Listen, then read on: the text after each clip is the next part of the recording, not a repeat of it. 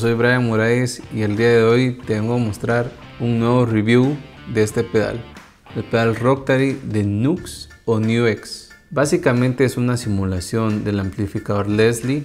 Este pedal trae una función para que suene tu guitarra o tu instrumento como un órgano. O sea, trae el sonido del Leslie más la función del órgano. Para mí me parece increíble. Muchos guitarristas han utilizado este amplificador, obviamente en su forma original como era antes. Guitarristas como David Gilmour en Pink Floyd. Y en especial lo he escuchado mucho o le he puesto mucha atención a este pedal desde que escucho el álbum Fear de la banda Marillion del guitarrista Steve Rodri. El amplificador o el sonido de Leslie tiene una peculiaridad. Aparte de traer su sonido claro, que muchos lo definen como una especie de phaser, lo que tiene es que aparte tiene un sonido o una característica de fabricarse el sonido como un trémolo. Además trae una distorsión y todo esto lo trae incluido este pedal. Un amplificador enorme que antes no lo podías andar cargando un tamaño tan pequeño. Trae su octavador, el primero es de agudos, el siguiente es de graves su volumen, la función de trémolo lo puedes hacer slow, lento o fast, rápido y aquí lo puedes activar cuando tú lo quieras hacer. Trae su señal del drive, la distorsión del amplificador. Bass horn, mantener la señal balanceada de los bajos y el balance que es ecualizar el sonido de la señal sucia, puede ser del drive. Sus salidas y entradas, esto está buenísimo, trae un input una entrada para pedal de expresión y el pedal viene en modo estéreo. Recomiendo siempre que este pedal se utilice en modo estéreo. Si no se puede, pues puedes usar como siempre la señal L. Trae acá 9 voltios, entrada de 9 voltios y entrada USB. Por si alguna vez quieres actualizar el software que trae este pedal. Estos señores de Nux, la verdad es que se pasaron con este pedal. A continuación te haré una demostración para que veas cómo suena.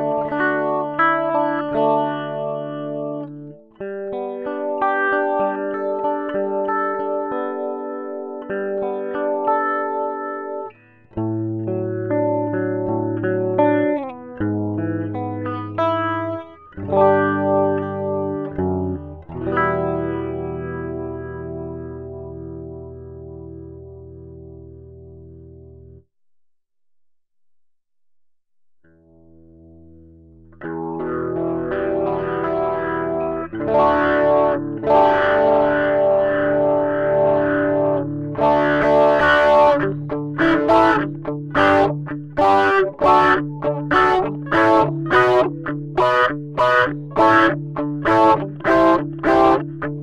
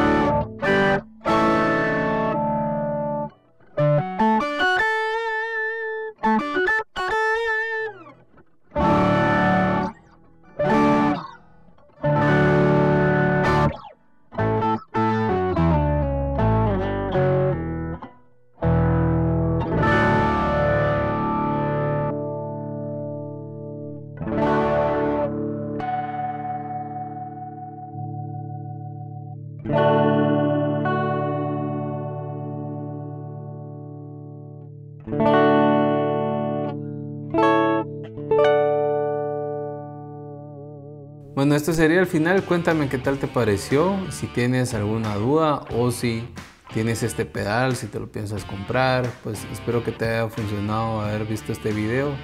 Además, si tienes otro pedal con este mismo sonido, me puedes dejar aquí en los comentarios y poder seguir platicando de este sonido. ¿A quién le puede funcionar este pedal? Pues básicamente te diría que para todos. Lo he visto utilizado por tecladistas, lo han utilizado gente que tiene sus órganos, sus Hammond y lo amplifica con este pedal. Los guitarristas pues es lo que nos acabamos de centrar y me gusta mucho sobre todo porque puedes tener otro sonido en tu pedalera. Para mí es el pedal de los más económicos, con esto lo puedes tener todo en uno.